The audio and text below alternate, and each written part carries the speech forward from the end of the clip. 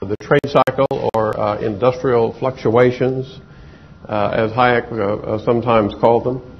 Uh, today, I'm going to show a couple of sh- slideshows, one fairly short and one longer, and I'll alert you even at this early point that both shows are posted to my website. So you might want to refrain from trying to copy down text or graphs or whatever uh, on the uh, screen because uh, they'll be uh, readily available through, uh, to you later. Uh, also, a few preliminaries about business cycle theory. We've heard quite a few references to the theory from Jeff Herbener and Hans Hoppe in earlier lectures. a lot of the lectures you've heard so far are uh, I think of as, as sort of background or building up to uh, this uh, particular application uh, of Austrian theory. And uh, in today's lecture, if I don't uh, rehearse each of these previous points about capital and about market process and price formation and entrepreneurship, it's not because I it's not because I'm rejecting those things. In fact, I embrace them. They're they're essential for the business cycle to work out in ways that I'm going to suggest uh, today. Uh, but uh, since this is a macro topic, it's business cycle theory. Uh, it's conducive to a little different style of presentation. Uh, but nonetheless, market process is ongoing in the background, which we'll have plenty of occasion to uh, mention. Just as a matter of the literature, it might be worth noting that this theory is often called the Mises-Hayek theory. That's the preferred name by Murray Rothbard, and justifiably so, uh, I think. Uh, one first articulated it, Mises, in 1912, and Hayek has done the most uh, to uh, elaborate it and uh, give it some analytical legs uh, in his work. So it begins with a relatively short statement, two or three pages near the end of Mises' 1913 Theory of Money and Credit. in 1928, Hayek wrote an article that's uh, only in the last 15 years or so been translated uh, into English on intertemporal price equilibrium and movements in the value of money. Uh, it's a quite a long article and uh, not deliberately addressing the issue of business cycles, although he has one footnote that's an amazing footnote. It has about 500 words, long footnote, and it's one of the most concise statements of the Austrian theory of the business cycle that I've seen. So that, that article is now available in English. It's in a book called Money, Capital, and Fluctuations that was published uh, in 1985. Um, but Hayek went on after the 28 article to write uh, Monetary Theory in the Trade Cycle, uh, which was a critical uh, essay largely of other theories, uh, Prices and Production, in which he introduced the famous and some say would, some would say infamous Hayekian triangle that will get a lot of play uh, today. And then a number of articles, many of which are collected in a uh, Hayek volume called Prices, uh, no, Profits, what is it called? Prices, Profits, and Investment, or something like that, okay? One of these trilogy uh, titles. Uh, Beyond Hayek, we've seen uh, application uh, of the Austrian theory of the business cycle. Uh, first, uh, in the hands of Lionel Robbins, one of the easiest to read and most persuasive treatments of uh, business cycles uh, using the Hayekian analytical techniques, is Lionel Robbins. he wrote The Great Depression, 1934, a book that he later renounced, but it's still just as good. recommended highly. And much later on, uh, Murray Rothbard wrote uh, America's Great Depression, in which he drew heavily on the Mises Hayek theory to uh, explain how the boom of the 20s uh, necessarily uh, turned into uh, a bust. there's been a book by Gerald O'Driscoll, 1977, Economics as a Coordination Problem, where he shows a certain blend of Hayek's later writings on the use of knowledge and his early writings on capital theory and business cycle theory. And in 1990, uh, a book by uh, Mark Skousen called Structure of Production, uh, in which he gives uh, the Hayekian theory uh, quite a workout. Just recently, I've been able to publish my own book called Time and Money, uh, published by Routledge, which is intended to build what I call capital-based macroeconomics or really Hayekian uh, theory. Uh, recent treatments of Hayek have not been all that kind to his views on capital and business cycles.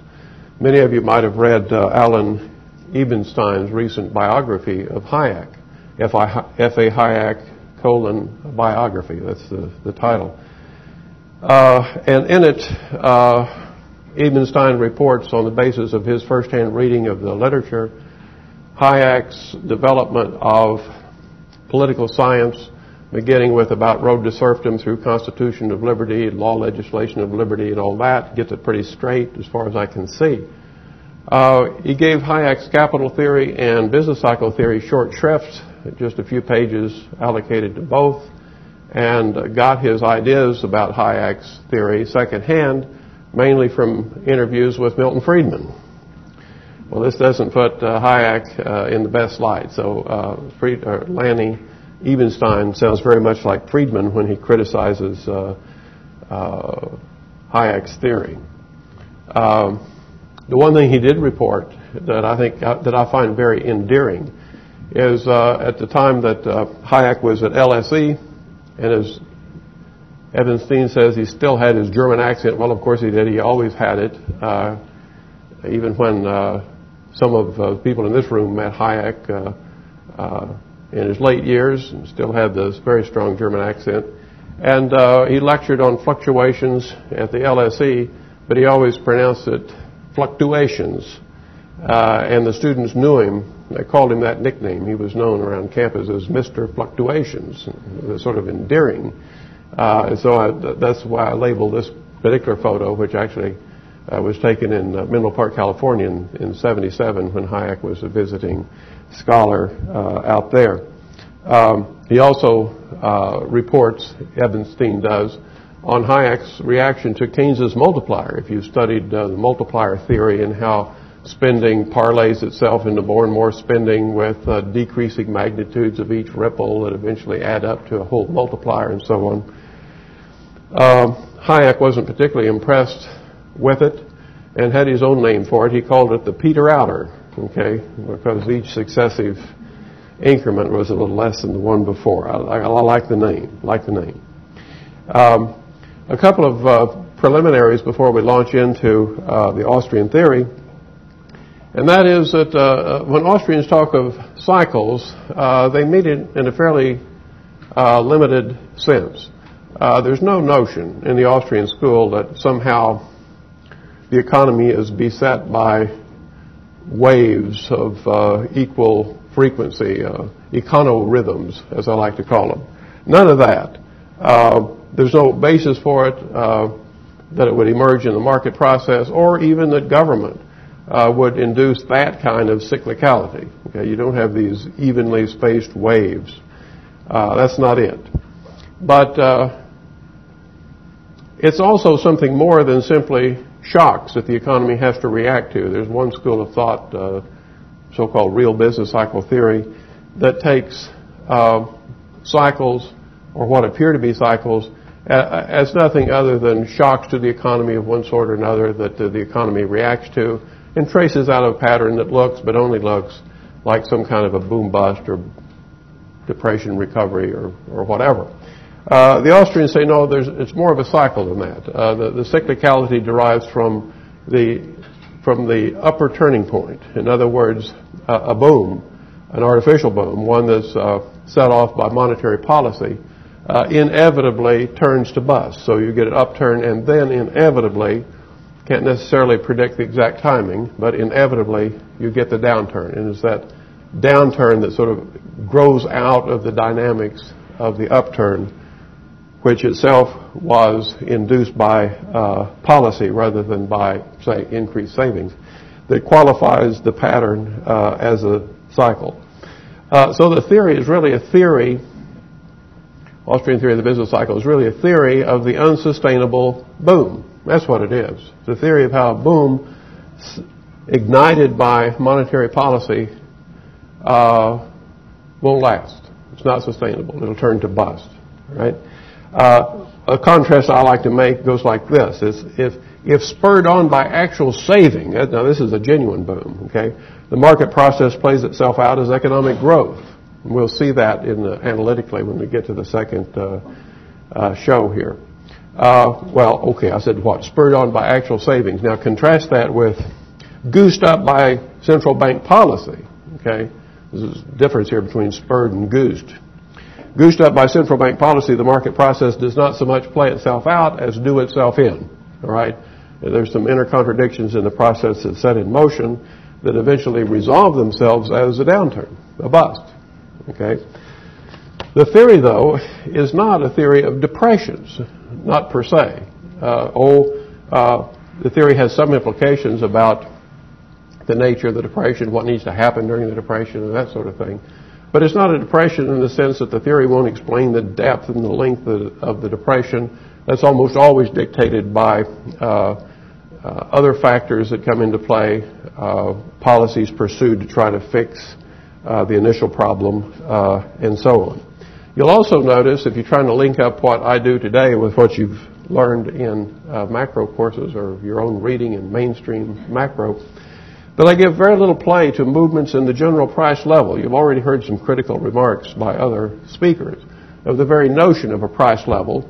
And uh, I'm not quite as bothered by that as some others, but it, it doesn't come into play uh, in the Austrian theory, at least in any first order sort of way. Oh yeah, if uh, the central bank tries to stimulate a boom well beyond uh, any conceivable possibility of pushing it further, uh, you'll get some pretty dramatic inflation, and the effects of that can be taken into account.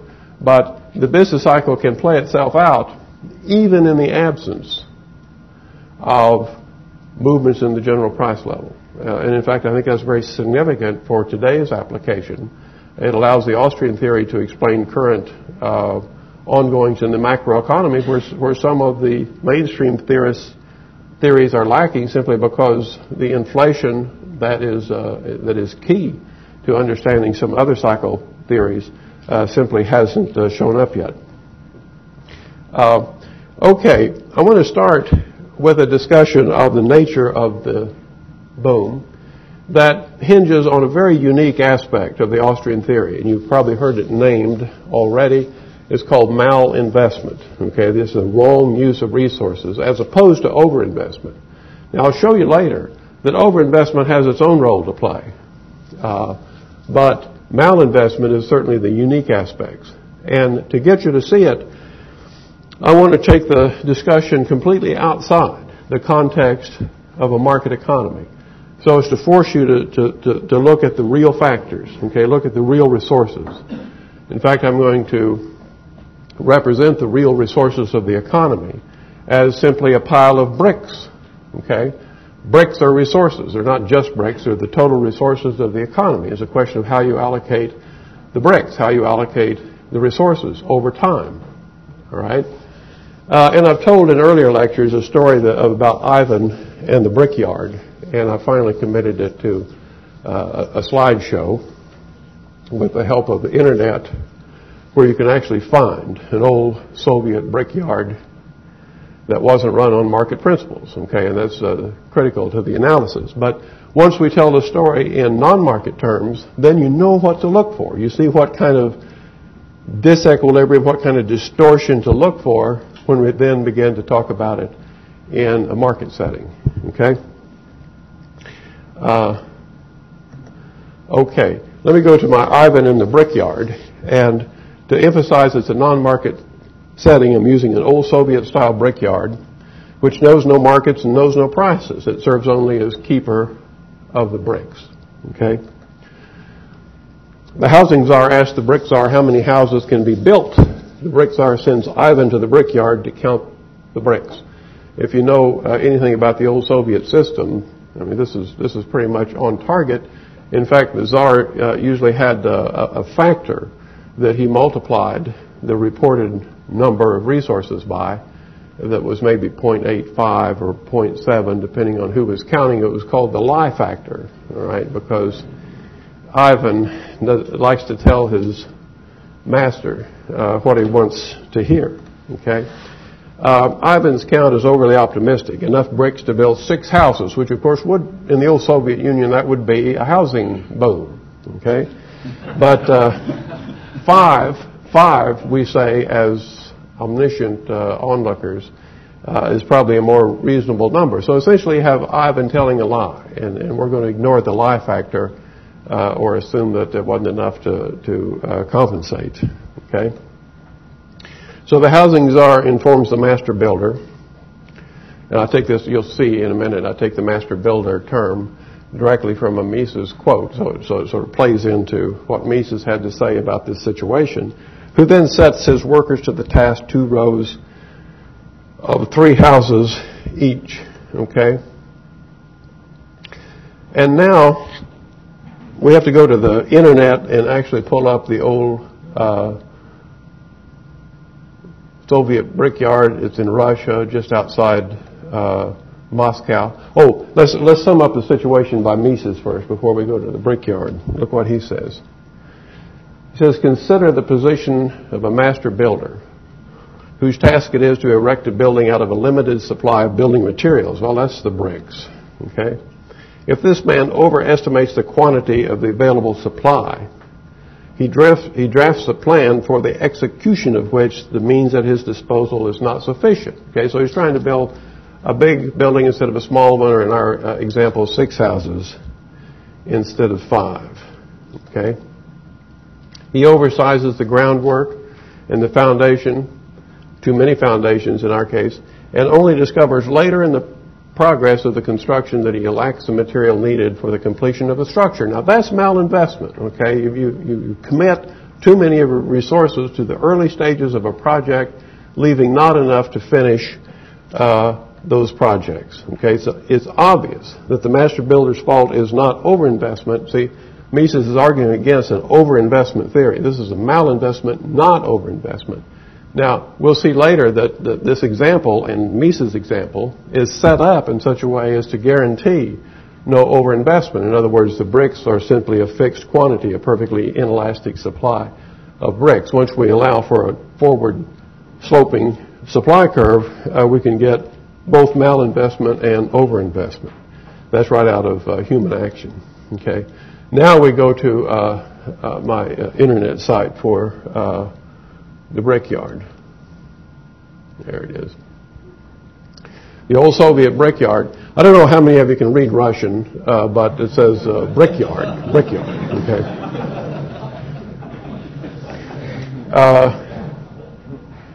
Okay. Now that's that's what a perfectly inelastic supply curve looks like. Okay. It's just a pile of bricks. All right. And out of this, uh, we're going to build six houses, that's streets there, okay? Three houses and two rows. Uh, and, and the master builder sets individual builders, six of them, to building the houses, okay? And they begin drawing from the bricks pile and building houses, okay? All right, they have different styles, okay?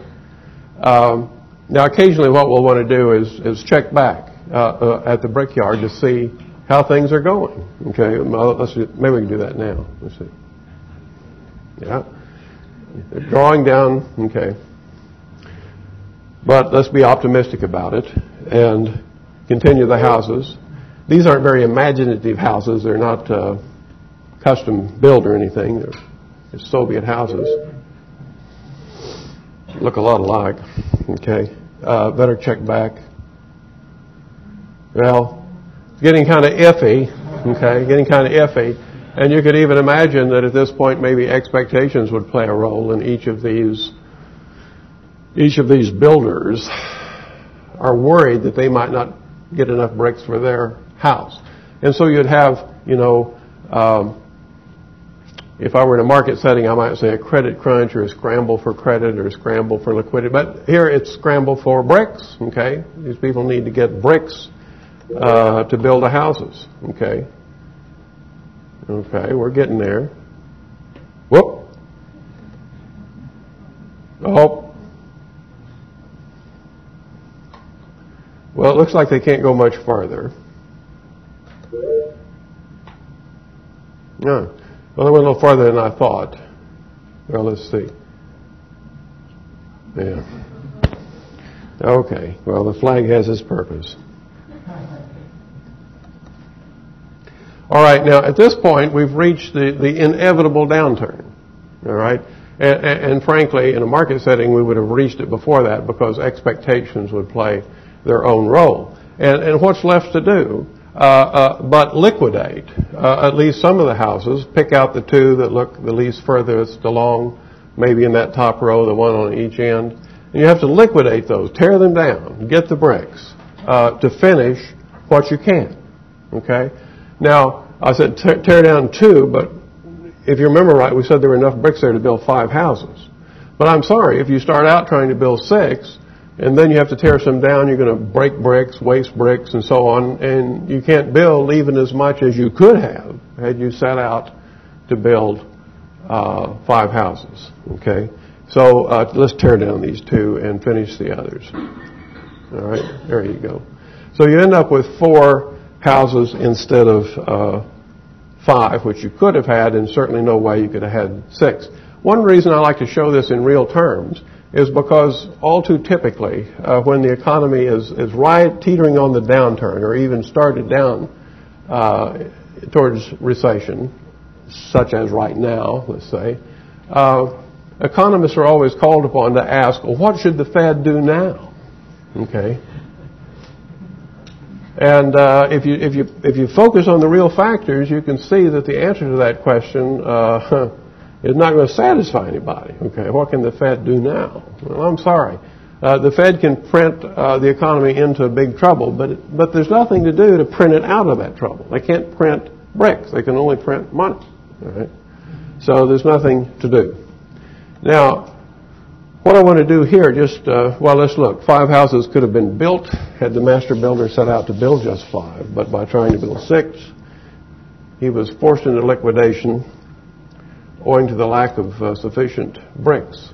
Given the losses that always accompanies liquidation, the master builder in the end could only complete four. And so we have it. And here, and here again, in real terms, think of it in real terms, boom, bust, liquidation, and partial recovery. All right? So the whole Austrian theory of the business cycle, when told even in a market setting, is a story about Ivan in the brickyard. All right? So don't lose sight uh, of that. Now, to make the transition from this PowerPoint show to the next one, uh, I'm going to put it on graphs. And uh, by putting it up this way, you see that vertically uh, vertical supply curve. That's the number of bricks. Okay, perfectly inelastic. Uh, and in that case, of course, the supply of bricks is just given. It, uh, it shows up that way in the chart. And uh, if bricks were sold, see here comes the market rather than allocated by the housing czar, demand for bricks would determine the market price, as you can see, PEQ, equilibrium price of bricks. Okay. Now I'm just going to change it by allowing the uh, the supplies of factors of production, which would include labor, to be less than perfectly inelastic. Okay, so now it's possible uh, actually to produce more, uh, if only because people are working more. They're working overtime, or, or they're foregoing vacations, or, or, or they're uh, adopting a later retirement date, uh, or they're not going to school. They're going to work instead. Okay, so there's all sorts of ways that that uh, the inputs as well as outputs can be increased up to a limit, but it's a fairly strict uh, limit. Okay, and that's what that says there essentially. And so now with supply and demand fully in play, the market coordinates buying and selling and gives us an equilibrium price and quantity of, well, bricks still. But, but to convert this to a market economy, uh, a macro economy, uh, what we need is resources generally. And uh, what we tend to do is use the financial markets as representing the movements of resources. We generalize from bricks to investable resources and let our supply and demand depict the financial markets that mobilize those resources. So the quantity axis shows saving, that's the supply. In other words, those are the funds with which bricks and other inputs, labor, can be purchased, and the quantity, uh, and, and, then uh, investment, which is demand, that's the business community's willingness to borrow the funds and buy the bricks and hire uh, the labor. Uh, I've put on the horizontal axis some arbitrary numbers just to show macro magnitudes, probably multiplied by a billion, 500 billion, or a trillion, whatever, uh, for investment and saving. This, after all, is a macro economy. And uh, who uh, knows, who can tell me what that I stands for on the vertical axis? What? Anybody else? It's Ivan. It's Ivan, okay? I stands for Ivan. Ivan needs to tell the truth. You're right, you're right. It's the interest rate, okay? But anytime, yeah.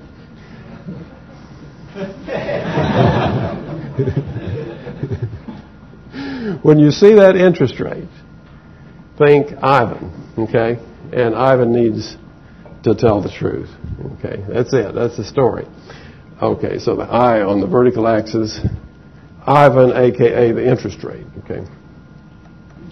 Uh, now it's interesting here that this uh, we could call this. You know, this is called the supply and demand for loanable funds. It's the loanable funds theory of interest that, that, that actually was the dominant theory of interest until Keynes wrote.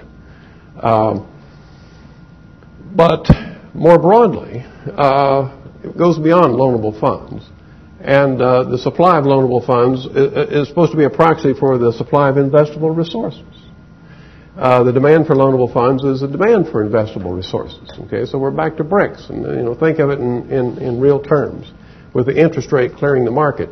And by the way, that interest rate, at least for in this context and for our purpose, is what uh, Wicksell called the natural rate. It's just a rate hammered out by the market, the give and take of suppliers and demanders in the market for investable resources. So that rate can change if supply conditions change, for instance. So suppose that people want to save more.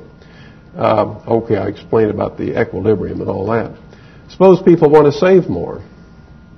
It says that loanable funds reflects people's inclination to save. Uh, and it can change. People may decide to save more for retirement or finance education or save up for a new car or whatever they're going to save for. Okay. And if they do, that's, that's uh, represented by an increase in the supply of savings, a rightward shift in the supply curve, which in this graph bids interest down to about 2.3, it looks like. Gives you more saving, 1,000 instead of 800, gives you more investment. Uh, investors are moved to undertake those investments because of the uh, attractive interest rate, and that's what gets you genuine growth. That's when I say that if it's savings driven, the, the market process, bidding out of the interest rate and the, and the uh, uh, investments based on that low interest rate, as explained by uh, Professor Herbener yesterday, uh, gives you increased growth. All right. Uh, which is consistent with the preference change. People are saving up now in order to consume more in the future, and they'll be able to do that because the economy is growing uh, faster. Okay, now I'll show you the alternative here. Without an increase in the supply of loanable funds, the economy's growth rate is set by the equilibrium values at 800. Okay. Uh, now, if the monetary expansion pushes, that should have an E in it that pushes, the economy to grow faster, the increased growth rate is not sustainable. And we can see that too. It's interesting that the initial shift looks for all the world pretty much like the savings shift. You shift the supply of loanable funds to the right, but you don't shift the supply of bricks to the right. You don't shift the savings to the right. In fact, quite the contrary. Uh, well, let's read here. Pumping new money through credit markets has some effects that initially are similar to the effects of increased saving. Okay, the interest rate decreases, investment increases. But the increased investment is accompanied by an increase in consumption. It is not funded by genuine saving. Because if you look at this uh, diagram, in fact, let, let, me go to the next one here, which is which is the last one, I think. Uh, that uh, I like to say that padding. Whoop. Uh, let me do this again. Hit the trigger one too many times, didn't I? I'm not going to go through the whole thing. No. It thinks I am. Uh,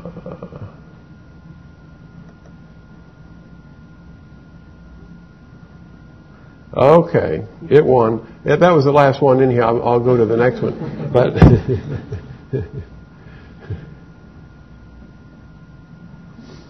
I say I will. We'll it.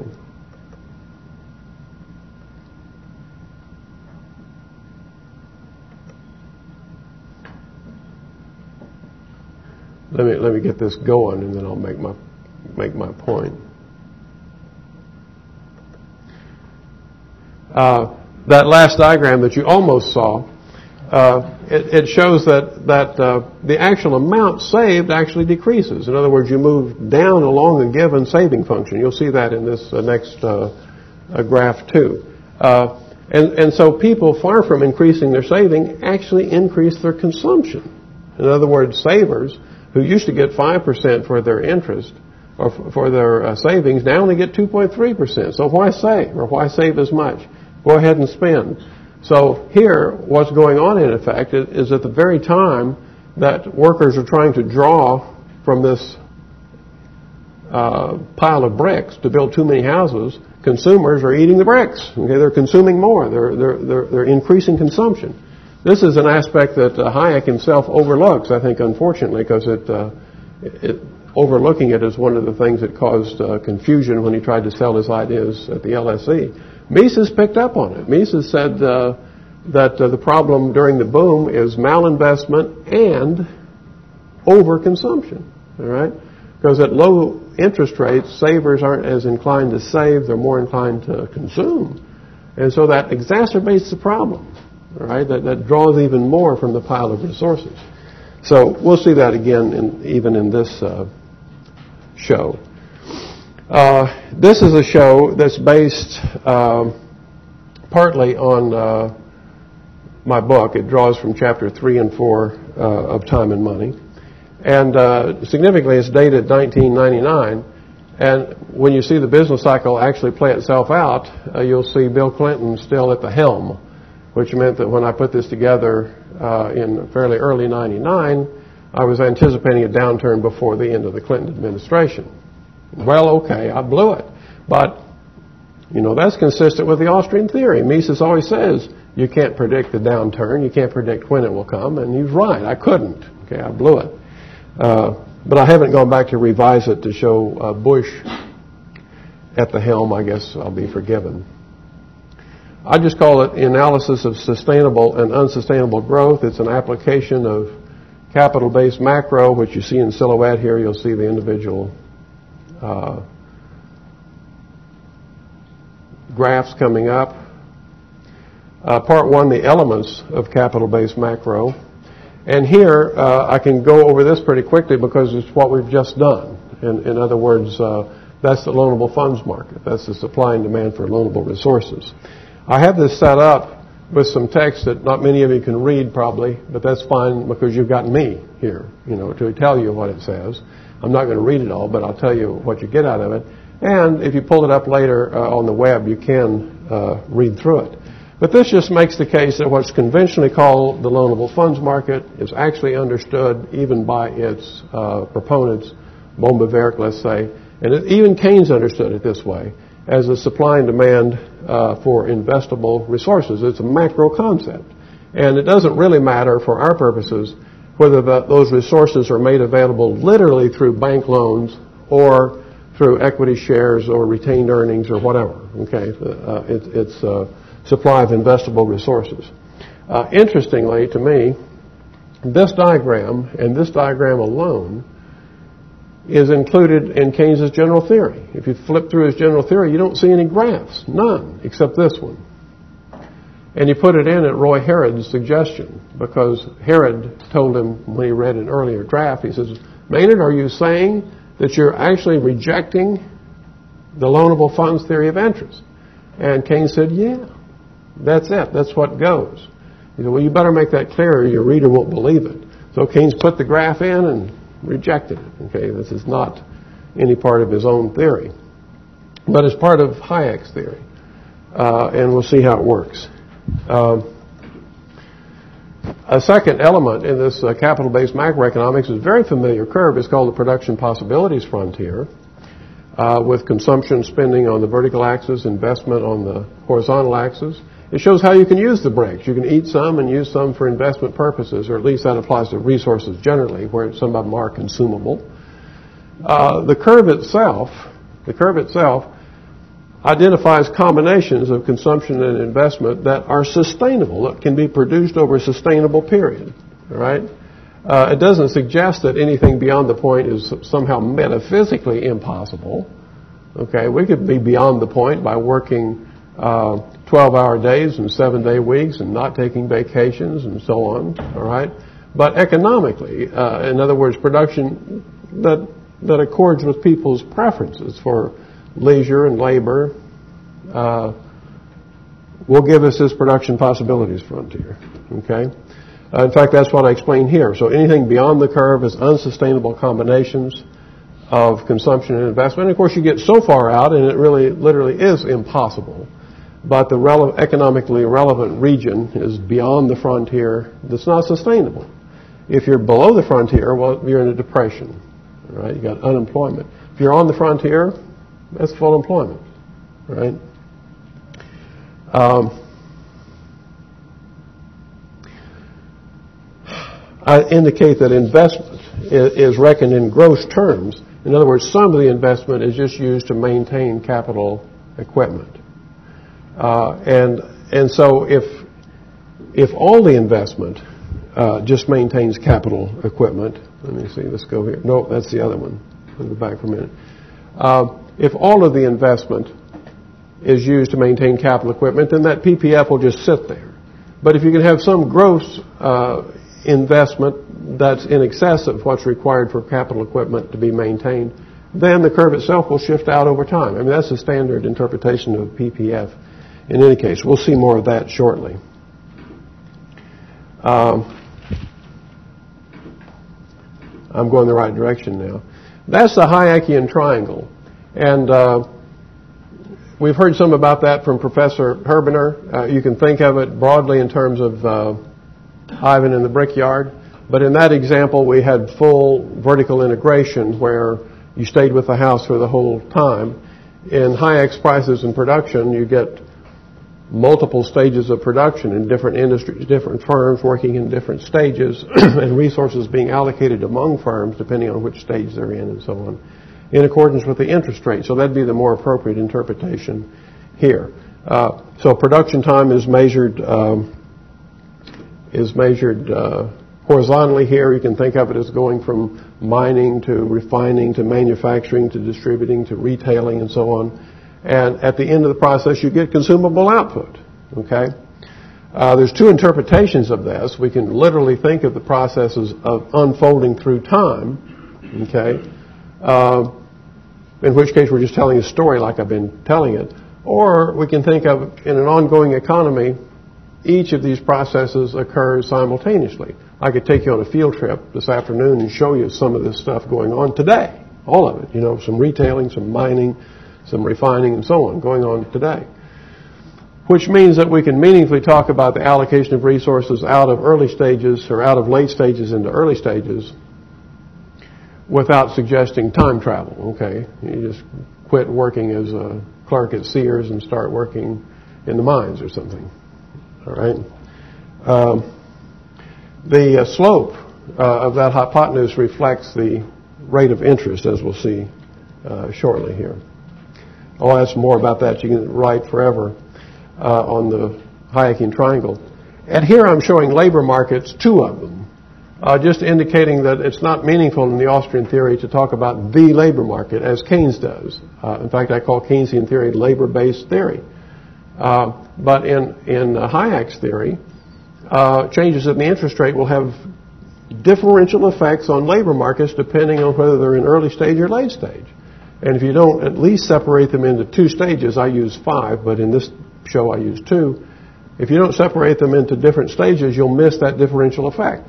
And it's only if you pick it up do you actually see how the business cycle plays itself out. Okay? So in part two, we can go through fairly quickly. We're just going to go around the horn and integrate what we've already done. Okay, starting again with the loanable funds theory, and here I've actually marked the equilibrium saving equal investment that's brought about by an interest rate of 5%. Um, a production possibilities frontier, which, given that 800 billion probably of the resources are being devoted to investment, that leaves, oh, it looks like 2,200 billion, whatever it is, for uh, consumption. Okay, so that, that's consistent with the frontier. And we start the analysis with the economy on the frontier, with the economy fully employed, with the economy not suffering the kind of problems that we're going to attempt to explain. Uh, Keynes was critical of Hayek. He says, oh, that Hayek, he assumes full employment. All right? And Hayek's point goes with the methodological point. You, you better not assume you already have the problem you're trying to explain, or your theory won't be able to explain it. No theory can explain its own underlying assumptions. So if you want to explain how unemployment associated with the Depression emerges, you better start your explanation with an economy that's not suffering that problem, and then show what can happen to cause it to suffer that problem. Okay? There's a production possibility, or the Hayekian triangle, and what you can see is that the output of that Hayekian triangle uh, aligns with uh, consumption spending on the uh, production possibilities frontier. So we get an integration of the elements. The one link that is not explicit, but you should recognize, is that the 5% interest, here, where's my arrow? This 5% interest here is the same rate of interest that reflects, that's reflected by the slope of the hypotenuse on the Hayekian triangle. Okay? So at a lower rate, that Hayekian triangle is going to flatten out, or at a higher rate, it's going to steepen up. Because uh, resources are going to be allocated in just the way that uh, Professor Herbener explained uh, the other day. Okay? Oh, okay. There's my labor markets. Uh, and so I look, I just sort of sample a late stage and an early stage so you can see what's going on at labor markets at the same time. Uh, let me back up just see what if I missed anything. Uh, okay, so the initial full employment equilibrium is defined by the loanable funds market, the PPF, the Hayekian triangle, and uh, then the labor markets. Okay, uh, which are which I treat as auxiliary, but but they are two different labor markets that can move differentially. Okay? Uh, Here we go. Now, just to show you how this works, let's assume that the rate of depreciation is 600. In other words, less than the current rate of investment of 800. And I've marked that up here on the uh, on the PPF. So here is the uh, the whole setup. Whoop. Okay, what we're doing here. Let me go back. Uh, what you can see is going on is, is we got depreciation of 600, we got investment of 800, so there's 200 net investment, which means the economy can grow, which means the PPF expands outward from period to period, and the other curves uh, expand uh, in sympathy with them. Okay, that they that, that they all shift out. Okay, it's just secular growth. It's not induced by saving or bank policy. It's simply the ongoing rate of growth that's possible by the raw fact that more investments being undertaken uh, than is needed for uh, offsetting depreciation. Okay, so watch the economy grow. Okay, there it grows. Okay, that's sustainable growth. Okay, sustainable growth. Uh, says to the extent that the increased wealth and income reduce the premium on present consumption and hence increase the propensity to save, the interest rate will fall and the economy will grow even faster. In other words, people more wealthy, they actually save more than what's suggested here. And so I turn now to what happens an, when there's an increase in saving for whatever reason. You know, people want to save for retirement or they want to save more for children's education uh, or whatever it is. So saving is a basis for sustainable growth. All right? Let's look through this. Once you get this set up, uh, the argument pretty much uh, articulates itself. You see how it works. That if there's an increase in saving, that's just a shift in the savings function to the right, okay, the, the, the increased supply of saving. And what that implies in terms of the production possibilities frontier is a movement along the frontier. Okay, more investment, less consumption. Right? So that movement is very much consistent with the increase in saving. When you say increase saving, you decrease consumption. Okay? And moving along a curve is, is precisely that. Decreased consumption uses the resources freed up by that for increased investment. Right? Uh, interestingly, that's the kind of movement that can never, ever happen in a Keynesian framework. All right? Uh, look at whatever level, whether it's, whether it's Keynesian cross, ISLM, aggregate supply, aggregate demand, you name it. You draw the, you draw the figures or you write the equations, uh, and you'll find that there's no scope whatever for the economy moving along a PPF. It can only move beyond it, in which case you get inflation, or it can move inside of it, in which you have depression, or if you're so lucky, it could sit right on the PPF, but don't count on it. All right? Uh, in the Hayekian view, it's possible actually for the economy to work. All right? You can move along the PPF. Uh, we can see what this looks like by uh, looking at the triangle. What do you expect that triangle to do? It's going to get flatter. Okay, so in other words, initial decrease in consumption, so the vertical distance is smaller, and uh, an increase in the horizontal distance, which means that the more roundabout processes are now worthwhile to, to produce output in the future. In the future, when people will actually be spending out of those increased savings, people are saving up for something, and uh, if you uh, undertake production activities uh, now, in early enough stage, you'll have that uh, ready for them. It requires some entrepreneurship here, okay? And you can also see what's going on with the uh, labor markets, and you can see why we need more than one labor market. I can't say what's going on with the labor market, because if you look at that structure of production, you say, well, you need fewer workers in the late stages because demand is down there it's called derived demand. People aren't buying as much at Sears anymore. They're really not. And you don't need the sales personnel. So demand for labor goes down there. Derived demand. But then the discount effect works the other way. At, at early stages of production, the interest rate is a very significant factor in production decisions, and a low interest rate will cause demand for factors of production, including labor, to go up there. So you get a differential effect like that. I don't know if you can see that all the way to the back, but the demand shifts to the left in the late stages, shifts to the right in the early stages. And that, of course, gets glossed over totally in, in the Keynesian view, and the monetarist view, and the new classical view. Okay? It's just gone. So now, uh, just to give you a warm feeling, let me clean up my diagram and show you a market at work for you and for me. All right? Uh, this is what Keynesian, in, effect, denied. Can't happen, period. But it can in this one. Okay, watch the economy respond to an increase in savings. See there? Okay? You want to see it again? watch the economy respond. Everything works, okay? All right?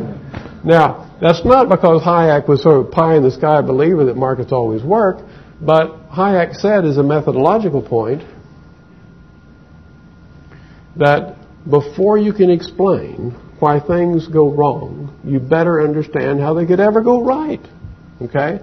And here is an explanation of how uh, they could go right. Right? Now, in the name of time, I'm going to skip. Let me go to my. No, it's not going to do it. Let me try it this way. No, maybe my time is okay. We'll do it this way. Uh, I've got the economy now responding to an incre- increase in saving. And what I'm going to do now is, well, watch the economy grow now. You see, it's going to grow faster because investment is greater, because people are saving, right? So now when you get the savings, it's going to grow faster, all right? which is, which is very consistent with the idea that people are saving up for something. In other words, at some time in the future, might not be too long, people will actually be consuming more than they would have had they not engaged in the initial saving. In fact, I show that in a little diagram here where the hollow arrows show how the economy grows before that initial increase in saving, and the other arrows show how fast it grows when spurred on by increased saving. Okay? Now I want to try to skip, but I don't. Uh, I can do this on my computer, but I don't see how I do it on this one. Oh, is it go? Up. Well, I can still do it then this way.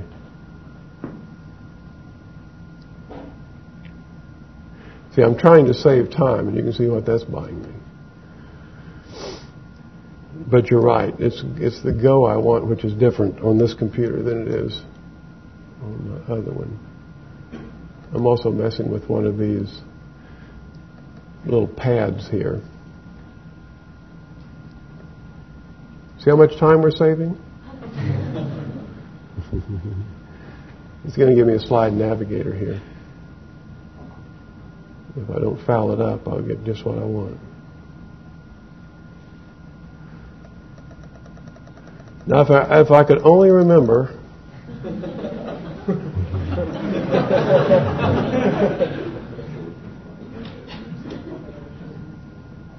Didn't Hans talk about uncertainty? Okay, we did save time. Yeah. Uh, I'm passing over a segment on legislating low interest rates and going on to manipulating interest rates with money because that's hardcore business cycle theory and that's what I want to be able to spend a little time on. Okay.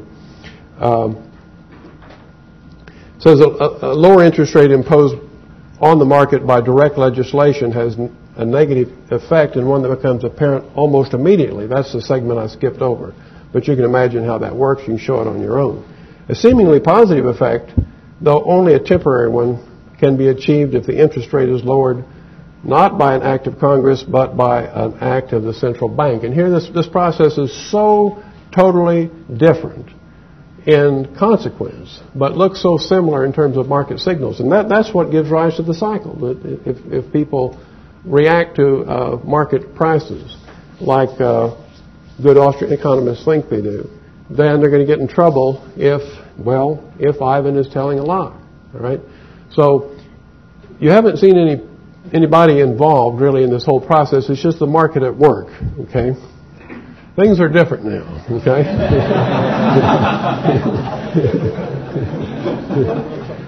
as soon as you see that, you know that strange things are going to happen. Okay? the economy is about to get goosed up. And look how similar that looks an increase in the supply of credit. Well, it is an increase in the supply of credit, but it's not an increase in saving. Okay? And the effect, now there's that wedge that, that uh, eluded us on the last show. Uh, look at the two blue arrows on the wedge. Uh, that Padding the supply of loanable funds with newly created money drives a wedge between saving and investment. It causes investors to want to borrow more because the interest rate's lower. It causes savers actually to save less because they're getting such little interest. They'd rather spend. Okay? Uh, let's see what that looks like upstairs here. And here is where you get the contradiction. I've shown two hollow points there because different market forces are pulling in different directions. If investors had their way, they would be pulling along the frontier towards more investment. But if consumers had their way, they'd be pulling in the direction of more consumption because they're getting so piddly little for interest. They don't want to save. Okay? And as it turns out, that there's scope, there's a time when both can have their ways. In other words, the economy isn't so tightly geared as to preclude expansion of both investment and consumption, but guess what? It's not sustainable. All right, the economy is overheating. Okay, you got uh, uh, well, I mean, uh, to, to, mainstream economists, I don't have to explain that very much, but uh, uh some Austrian economists want to be wedded to the frontier, so I, I, feel like I need to say a few things. So look here, at the bottom. Oh, I, I use the terminology tug of war. Okay, I like this terminology. You get a wedge below, you get a tug of war above. Okay, Together, consumers and investors push the economy beyond the PPF. The policy-induced combination of consumption and investment is unsustainable, unsustainable, dot, dot, dot, but what? Well, it turns out, can't you guess that the administration is going to be there to claim credit for how well the economy is doing? Okay? The economy is growing. It's doing great. It's, it's, beyond the frontier. What can you want, you know? So you get uh, Okay?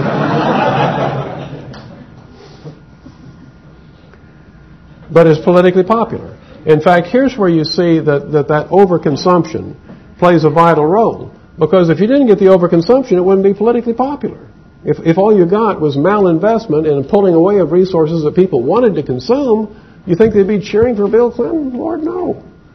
They're cheering for Bill Clinton because they do consume, but they're consuming the very resources that are needed to complete all the projects that have been started. Okay? That's the rub. That's the rub. All right? Well, let's go on. This show does eventually end, okay? There's the triangle, and now what's going to happen to it? Well, there's a tension here. It's, it's being pulled uh, both ways. And you can see why, because this, this lower part down here is going to show you the malinvestment. The, the, you're, you're starting projects that are too long. You're, you're driven by interest rates that are uh, uh very attractive, but it's not going to last. At the same time, uh, what resources there are are being whoop. Yeah, what resources there are are being drawn away for consumption purposes. That's that top little sliver up there, where it shows that consumption actually goes up. Uh, and, that doesn't cut against the theory. It makes the theory stronger because, because it means now resources really are going to be lacking uh, because they're being consumed at even a faster rate while you're trying to undertake even longer processes. Okay, and so here's there's all the terminology there. Uh, you have a wedge uh, in loanable funds. You have a tug of war uh, in the PPF. Uh, and you have structure production that, that shows malinvestment, also overconsumption. Mises uses the phrase over and over again, malinvestment and overconsumption. Okay?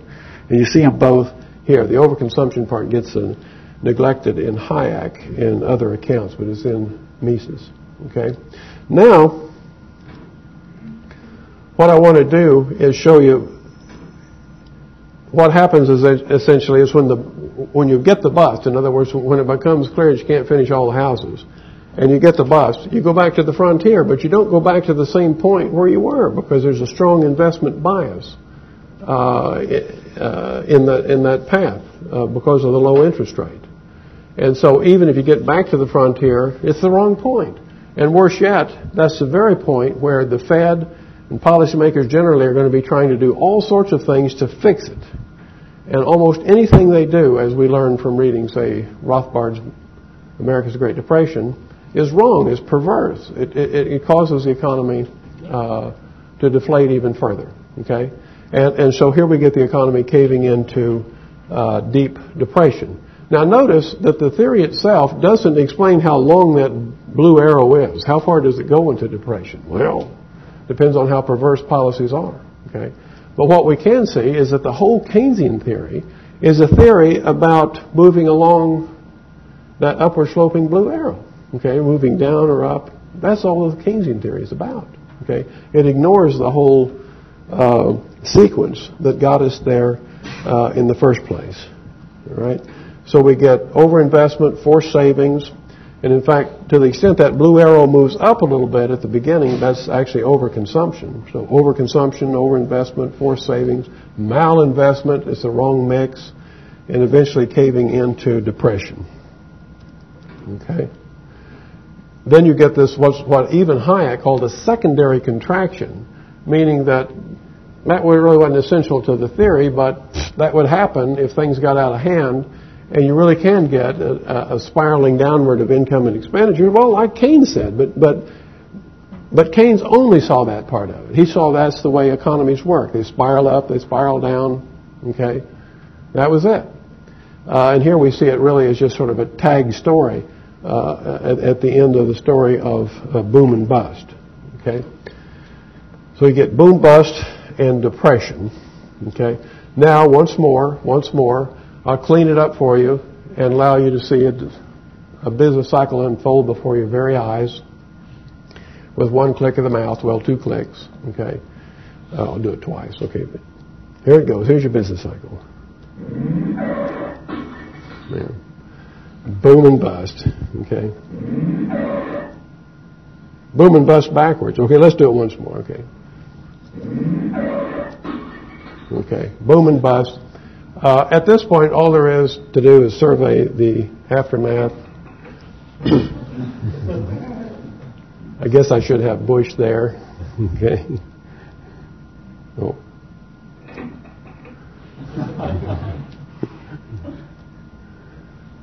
I'm sure he's got an explanation.